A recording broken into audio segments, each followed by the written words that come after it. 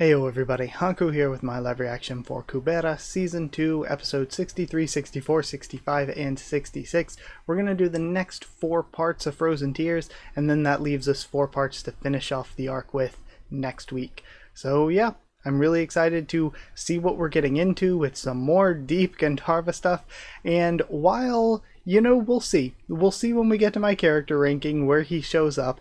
I don't think Gandharva is like my favorite character in Kubera, but I feel like it's hard to argue that he's maybe not the best well written or the like most well written. The like again saying best character is such a subjective thing but it just feels like so much time and effort and attention has been put into Gandharva's character, and we're just seeing this all come to like this tragic end where he's lost control and is attacking the city. We still have all of our characters that we care about in the city. We have all of these Shura characters that we care about. Agni's getting involved and I don't think anything bad will happen to Agni. If anything, this is maybe tragic and scary for Gandharva, but I still feel like Gandharva survives somehow, because I feel like we gotta see Gandharva get some sort of conclusion to what's going on with Shakuntala. He's gotta find out one way or the other, unless we're going super tragic and having, get, having him get taken out before he can get any answers. Uh, also, Teo, I said before, I kind of have the same opinion that I had for going into last week's read through. Probably dead, but as somebody who's only read, it's so crazy to say only read 163 chapters, as somebody who's only read 160 some chapters of Kubera, that's a lot, but there's 600 some, right? Or at least 500 some, and when you think about the grand scheme of things, I don't actually know all that much. So while I think Teo's probably dead, and you know, I'm supposed to, even if she's not, at this point in the story, I'm at least supposed to believe she's going to be dead. I don't know what kind of re- like resurrection or healing or anything like that. What kind of magic is possible within Kubera? I just don't, uh, it hasn't been explained to me if anything like that is possible yet. So we'll see where things go. I guess there's not really much else to say that I can't say as I'm reading through. So let's start with this episode. And of course, I'll always go through and read the afterwards afterward. So we start off with this really, really great, let me make sure you can see it all right. Yeah, this really great shot of Gandharva and Agni that we ended off last chapter with. It looks so good. Now we have Frozen Tears Part 6. I'm sure that's Gandharva, but it's too small. Too small to be Gandharva. I don't know how he took Shura form here, but if he adjusted his size on purpose to not destroy this planet, perhaps we can talk things out like last time Gandharva, I don't know why you're doing this, but let's have a word. Shakuntala would be so sad to see you like this. Think of Shakuntala and let's sort it out in a peaceful... And he just screeches. Yeah, I don't think he's, like, actually really fully conscious right now. I think he's just lost in the despair of it all. And we have the uh, hyper beam coming out, it looks like. And Agni is fine. Wow, that was harsh. I just wanted to try, or I just wanted to talk, and he tries to send me to Yama. If he's not in a state to recognize me, he wouldn't have adjusted his size on purpose. And of course, I already get, you know, I didn't really need the note. I like that they add in notes just to help remind you, but we saw that Claude used death magic and it was Yama magic, so you can put together there that Yama's the god of death. If he's not in a state to recognize me, he wouldn't have adjusted his size on purpose. Even that, er, then that size is the extent of his power, and he seems to have a problem with using his transcendental skills. It might be possible to stop him by force rather than talk. Hey, you massive lugworm, and it gets his attention. How about catching me rather than attacking humans? Doesn't that sound more interesting? Although it would be hard for a mere lug er, lugworm to catch a god. And we have all of this, uh, I'm assuming transcendental energy. I'm not even sure what to call the energy in Kubera forming up. Huh, do you really think you can get me with just that? He turns into flame and starts sending out attacks of his own, or at least energy flame of his own, to deal with the attacks coming in. Imagine you're just some random uh, person just living out in the world of Kubera and you're just seeing all this go on. Kalibloom Magicians Union. Asha, look, that part of the sky is totally black. Is that a storm cloud? It's not a cloud. Yeah, I guess it's not. Its shape is too odd to be. And there's a huge flash and booming. Geez, I, Asha, this is bad. It seems worse than er, it seems worse than it was in Atera. You don't need to worry for now, since the god's taking care of the closed space. Uh, I I see. By the way, how can you be so calm when the Agni is here? Aren't you surprised at all? I already knew about it. The priest told me at the Temple of Earth. Ah, once again, I was the only one who didn't know. we can't sit at ease yet. Atera might be put into danger while the god is here. That's right. Atera was already hit by the Shuras twice already, on the 10th and the 12th month.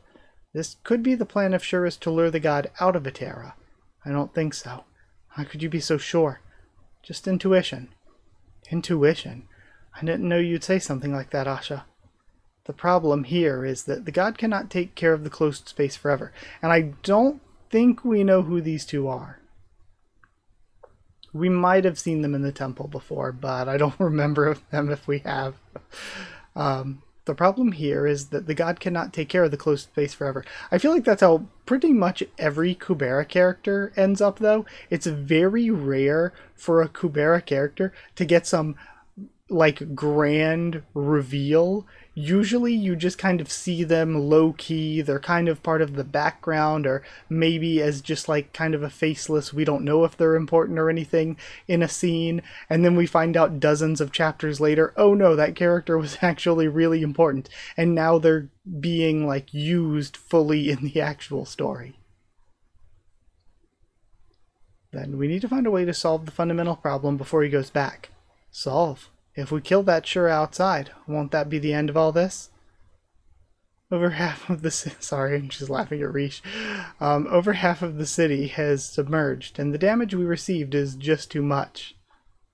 We'll, or we will at least have to sell the body of that Shura in order to restore the city.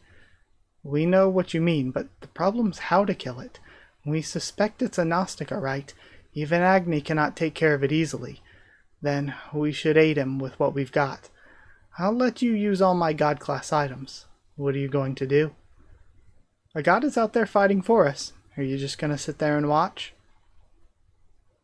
As expected, his regenerating speed is also slower than usual.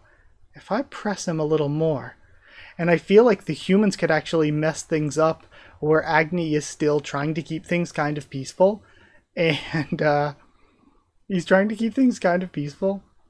And yet the humans could just come in and be like, wow, Ashura is attacking. We have to kill it.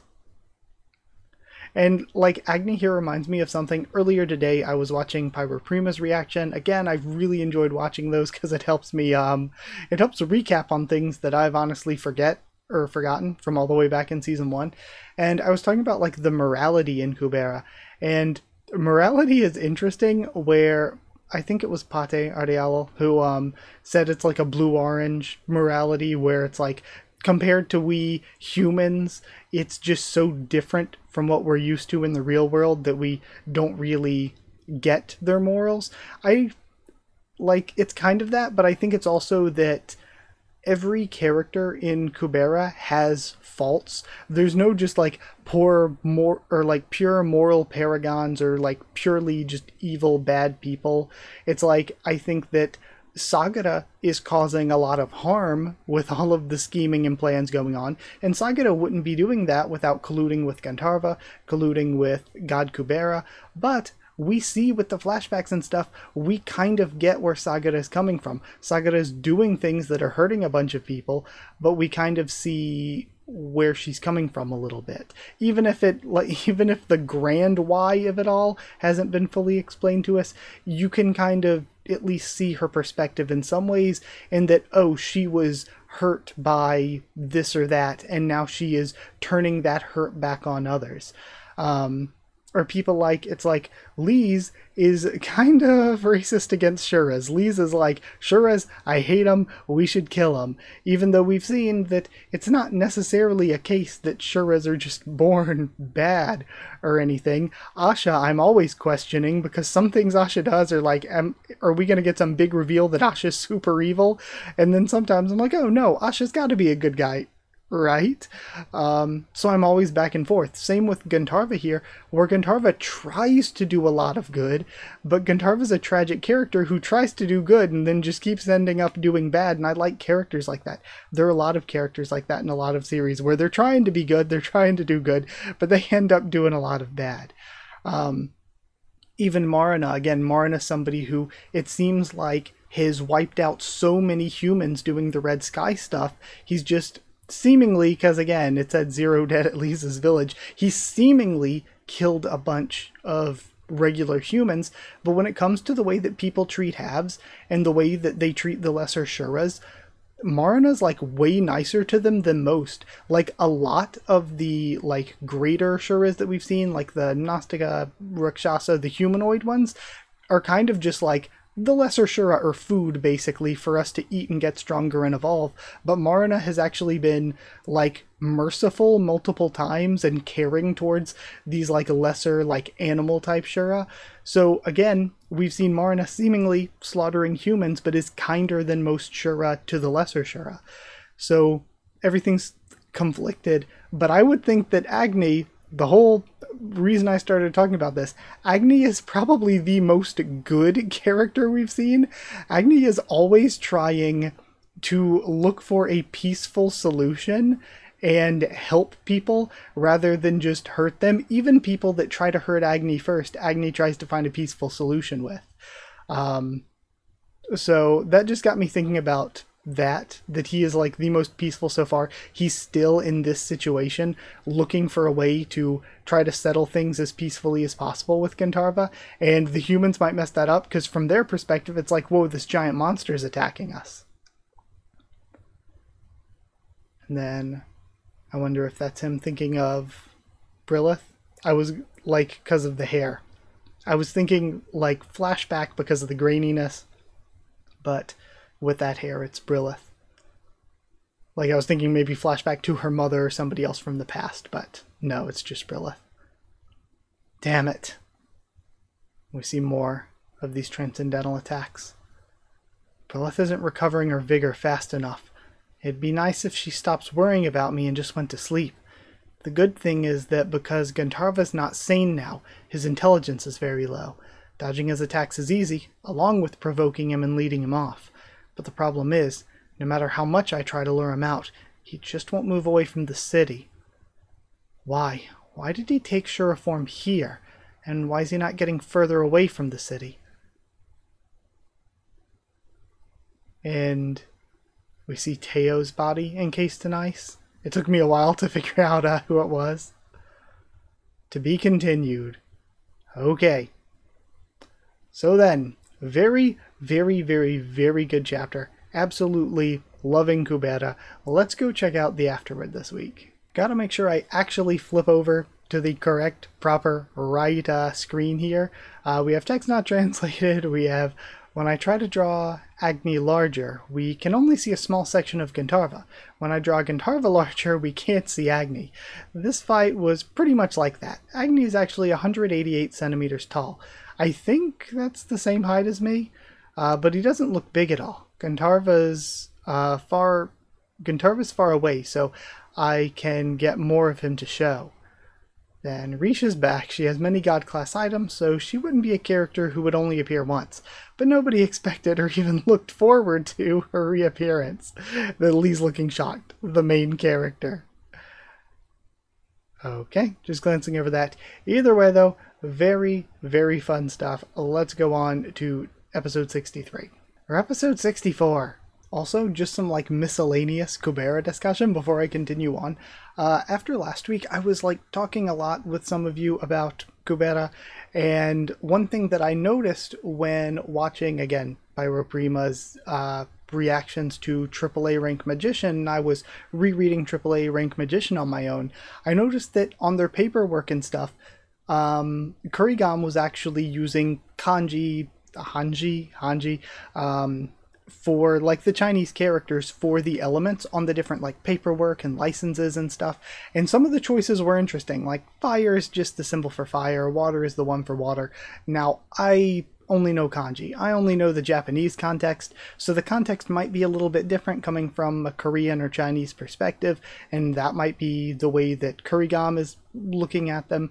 Um, but at least coming from what I know, it's interesting the symbol for sky that's used in Asha's um, Asha's attributes. The symbol for sky is heaven instead of just like normal sky or whatever. It's the symbol for heaven is used, and that's interesting because so far sky as an element has just looked kind of like lightning to me. Uh, I guess it makes sense that it's just kind of a lightning element, or maybe it's more broad and it's like storms and stuff, but I just haven't seen enough yet. Uh, some of the other ones that were neat though is the kanji, the symbol used for the element of creation, is the kanji for construct. So again, that's cool. Construct, that makes sense from how we've seen the magic work so far. And the one that really, really, really caught my eye was the kanji, the symbol used for Chandra. And I was like, oh, it's really interesting that that's what Currygom's using because it's not Yami. It's not the darkness that, like, most, if you're playing like a JRPG or you're watching anime and stuff, usually the element of darkness uses like Yami, the kanji for like elemental darkness there, but the uh, the one that Currygom uses is Kura. The one that Currygom uses is just the symbol for dark, as in man, it's dark out here, or man, it's dark in here. And that makes so much sense since I don't. Oh, yeah, I, I do remember Bhavati Chandra. That was used to amplify spells back in Night at Rained Fire. But Hoti Chandra, we saw at the very beginning, was used to conceal your presence. So it's like using the symbol for darkness, or like to be like dark, as in it's dark out here or dark in here, makes the concealing presence spell make a lot more sense that that's the way Currygom is viewing the dark element. So I thought that some of that was neat and interesting. But uh, yeah, with that little mini discussion, let's uh, let's go and start reading this chapter. Here, I brought all the god class items I have that should be quite useful.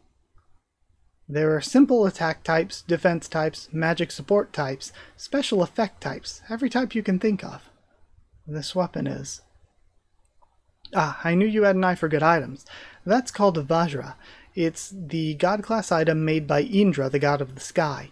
There were five of them in different shapes, and that one is specialized for Hoti Indra spells.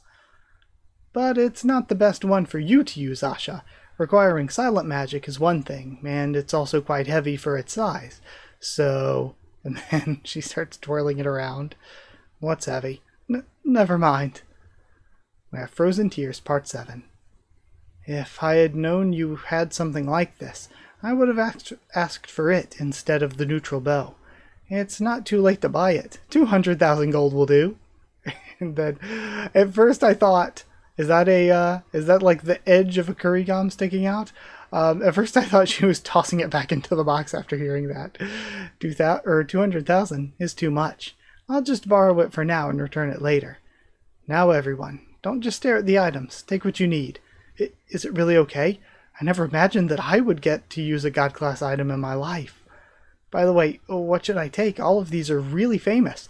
We don't have time to choose. Just take one with the right attributes for you. I'm writing down who's taking what, so you'd better take good care of the items. If you lose any of them, I'll send you a bill with a price I want. If you die, Miss Reesh, does that mean there will be no one to pay back the dark and edgy Asha? I freaking love her. W- well, Roosh would collect the money if I'm not present. No, I'm I'm gonna live. I won't die. Don't say something so terrible. I was only saying because you don't seem to be strong enough to protect yourself when you've provided the god level items to the others. I'll take care of myself. Ah, I see. Asha, how great is that item? Is it more powerful than the neutral bow? It depends on the situation. For now, we'll have to give the neutral bow er, that Ron holds to Yuta in order to make good use of it. Leez, where's the bag that Ron was carrying? And he's taken out of commission. Huh? Bag? What bag? Alright, the black one. Hmm, I guess it fell off on our way here. It's probably somewhere under that water by now, I guess. but what about it? Don't tell me the bow was in the bag or something. The bow was too big to be inside the bag. The size of the bow can be reduced. How else did you think Ron was carrying it around this whole time? And then, you could have told me earlier. Again, I do feel like this is a constant type of thing where Leez never knows anything, but Leez's.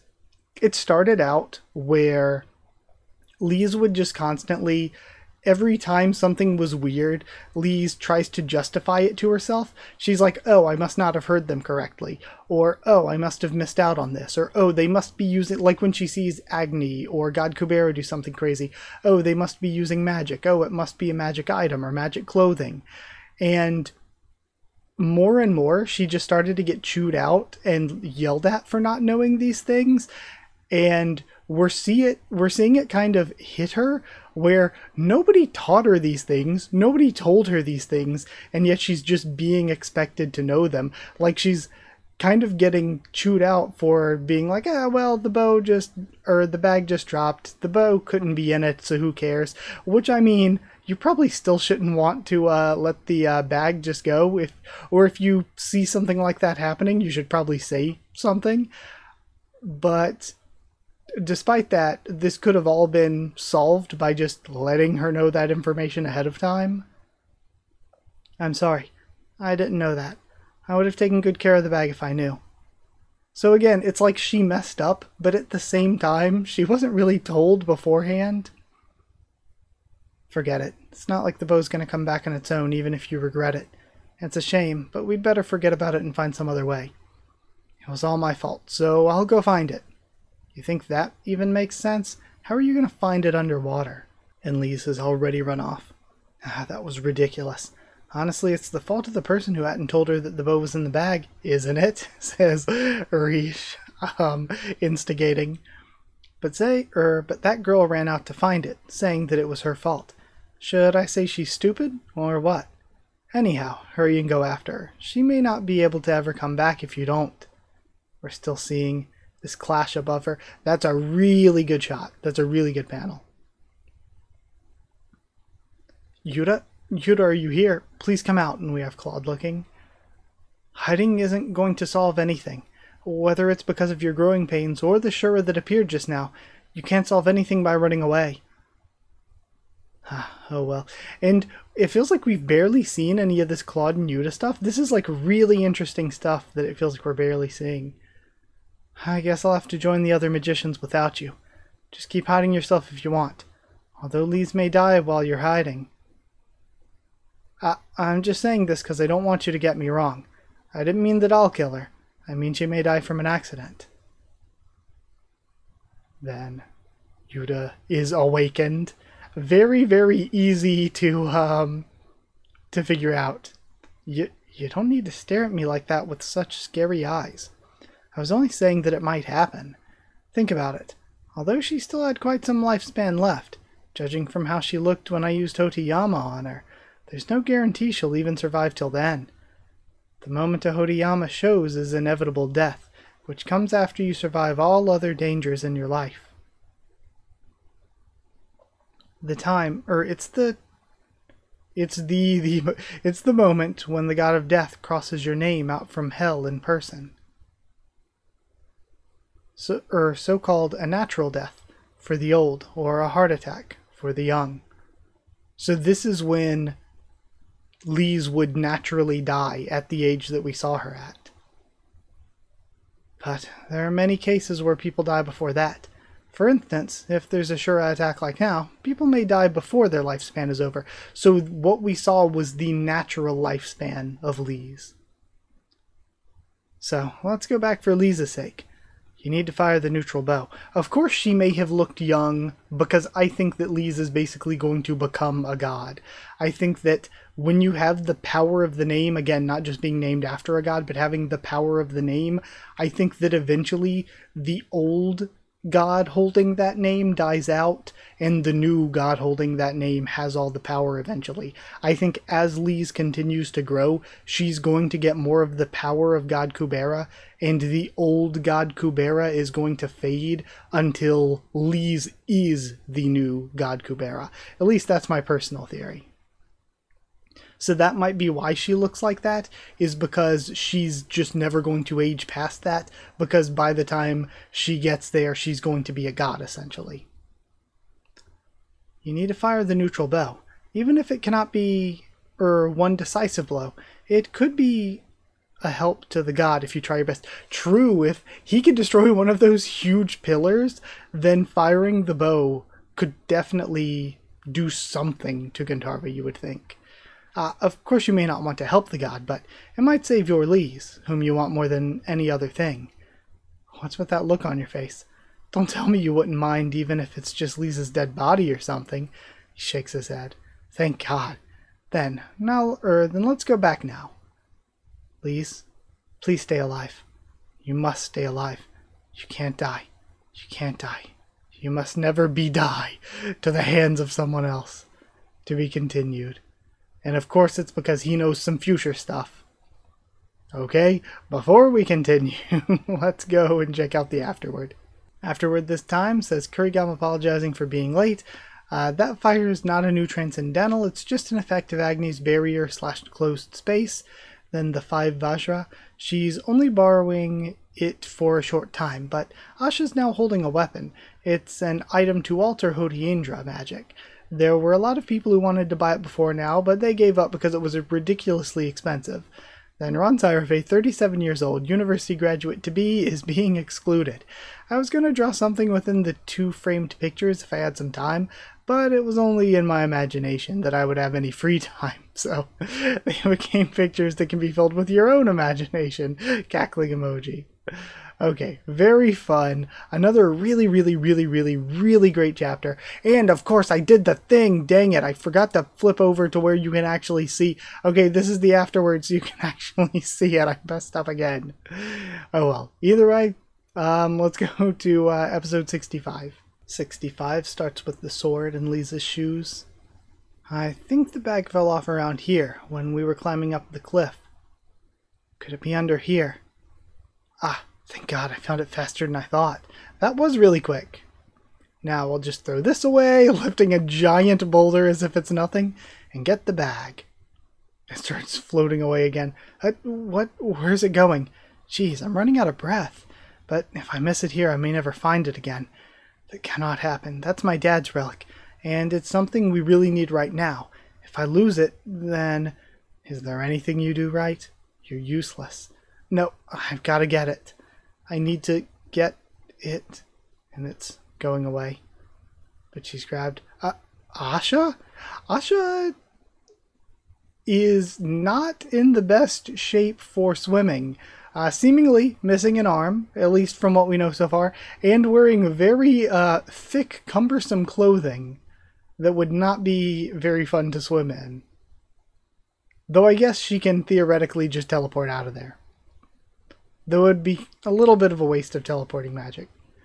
Frozen Tears, Part 8. Leez's coughing. Uh, Asha, why did you stop me? The pack was right there in front of me. If I'd gone a bit deeper, I could, or I could have got the slap. Do you really want to die or something? Hit me back if you feel this is unfair. And she's bleeding. Ah, no, I don't think it's unfair. It's my fault I lost the bag and I couldn't even get it back. You think it's the bag I'm angry about? Is it not? Then is it because I left before you finished talking? No.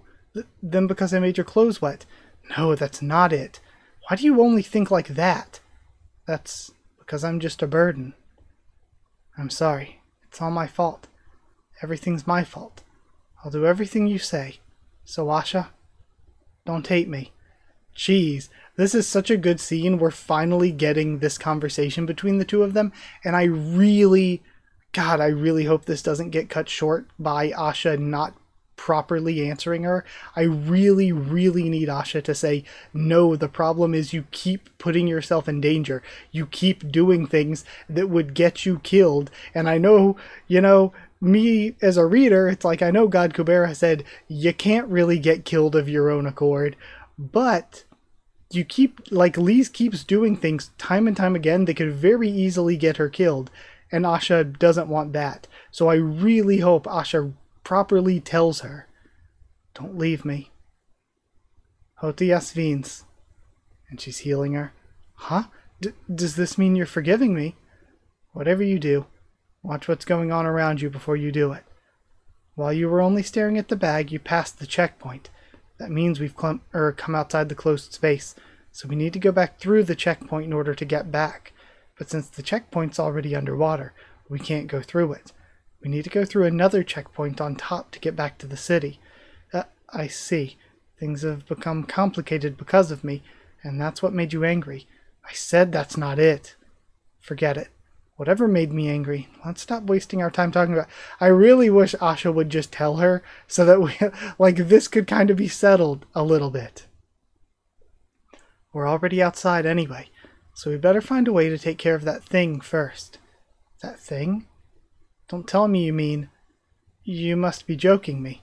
And we're seeing, holy shit, just more shots of just the massive, massive, massive, massive Gandharva.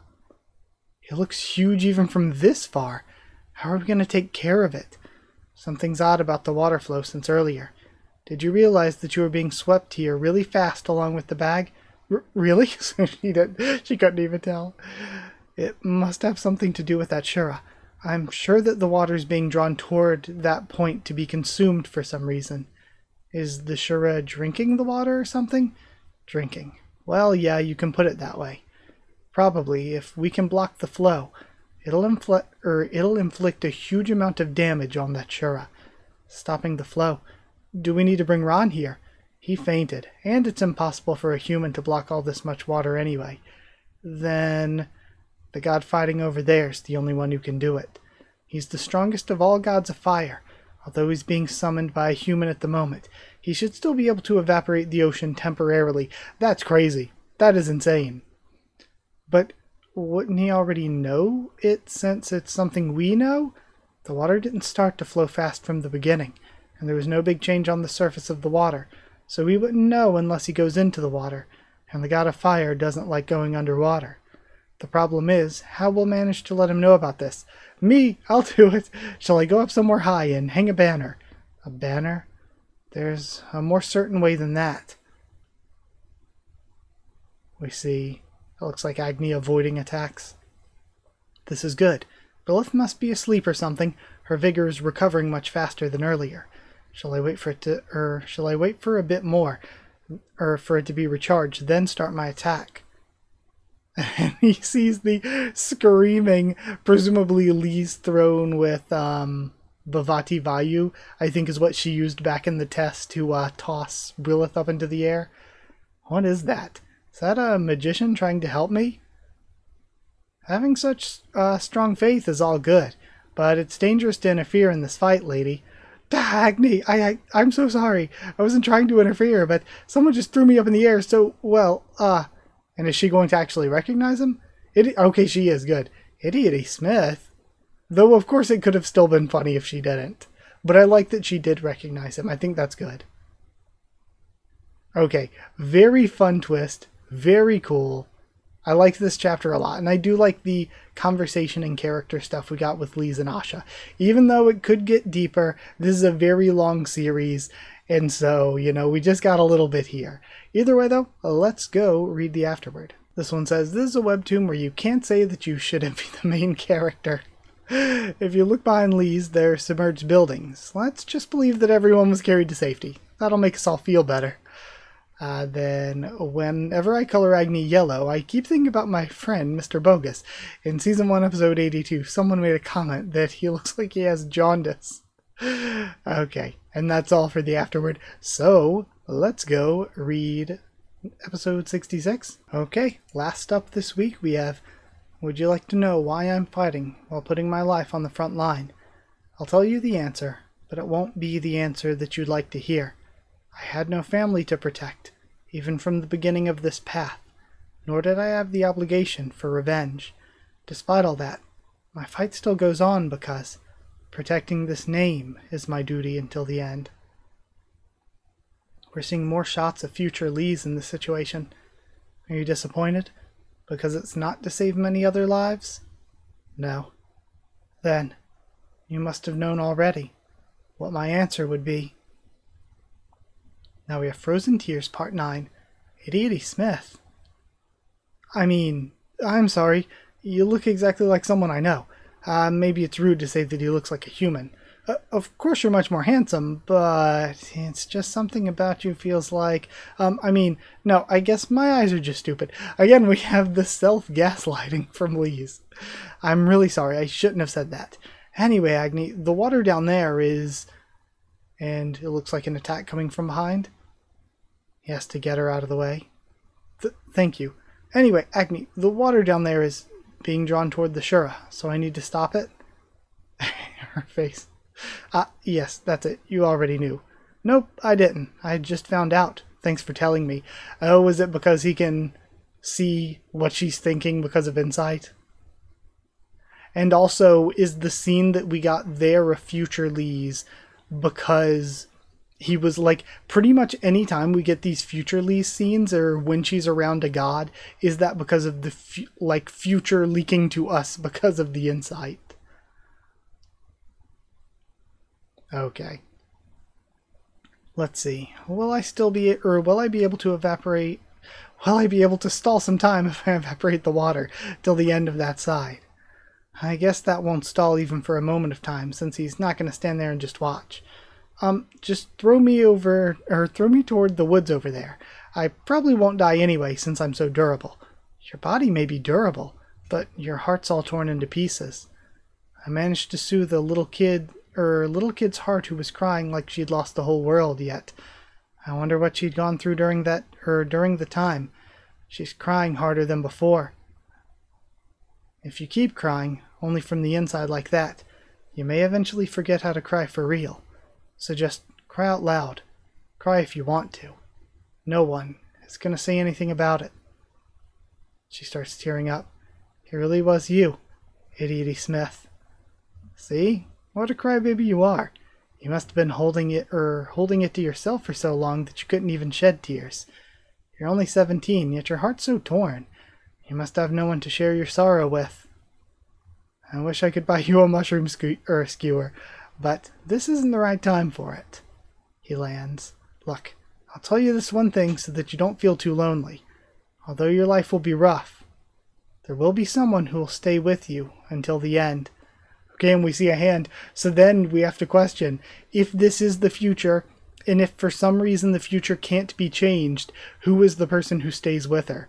Is it going to be God Kubera? I doubt it. Is it going to be Asha? Potentially. Is it going to be Yura? That's also a likely one. Who is that? Well, probably. Someone who cherishes you very much. And he goes away. Cherishes me. I had no idea. Who could it be? Okay, now. I've got to check out where you're using all this water, Gandharva. We see the water start to boil and start to evaporate. Everything is drying out. So, consuming the water had something to do with this Suralization after all. But, something's a bit odd. The water appeared after he took Sura form. Something like this wouldn't be required for Suralization. Unless he was trying to take in the water to use the water magic Sura transcendental power to try to revive Teo or something. Well, taking Sura form here is irregular in itself from the beginning. Anyhow, this is my chance. Before he takes Sura form again. And we see him crying. Agni stops for a moment and gets hit with the transcendental. To be continued. Jeez, I don't want to stop, but then I know there's four more entire chapters. Okay. So I guess this is the end, you know, for this week. It's a little on the shorter side. Unless I just want to push, have a super long video, but it's already after 10 p.m. Hmm, I'm torn. No, you know, we're going to we're still gonna be doing Kubera every single week. I'll end it here for now. Let's go read the afterward though. The afterword for this one is short too. We see the combination of somber eyes and the red background makes this look like a horror scene. Uh, Agni and Lisa's bodies are close and touching, but nobody's blushing. Do you know that they almost kissed each other by drinking from the same bottle? They didn't care about it and so forgot about it, and it looks like most of the readers forgot about it as well, and then the rest of the text isn't translated. Okay, well, thank you so much for watching, for being here. Let me go back over here. Thank you so, so much. Going to end it here, gonna go edit and everything. I really hope you enjoyed. I loved it. I have been loving Kubera every single week. It's so, so good. Um, absolutely adore the series. I want to talk about it more, so I can't wait to catch up more. But yeah, for this week, we'll do four next week, and then I think the next section is 10 chapters. If so, I'll do it in five and five. And then, yeah, we'll just continue from there with that all aside, thank you so much for being here. Thank you for watching. Like if you did like the video, comment down there to tell me what you thought of these chapters, my first thoughts and reaction. Subscribe for more Kubera, much, much, much more on the channel. Follow on Twitter if you want. If you want a link to the Discord server, it's free and open for anyone. If you want to help support the um, help support the channel by dropping a super thanks. It's appreciated. If you want to help um, support the channel and also get your name at the end of every video and get One Piece videos early, hit join down below to become a member or go to patreon.com slash of the Tubes or a link will be in the description to become a patron. Thank you so, so much to people who are already patrons and channel members. Thank you to Chosen Regular Evan Holly, Magical Girls, FR Nono, Abyss Knight, JA, and the D-Band, Jared and Students, David Langstaff and Folded Ghoul, Slayer Candidates, SG and Stan Cedar, and Pure Element, Pate Thank you so, so much for your support. Thank you for watching, and I'll see you all next time.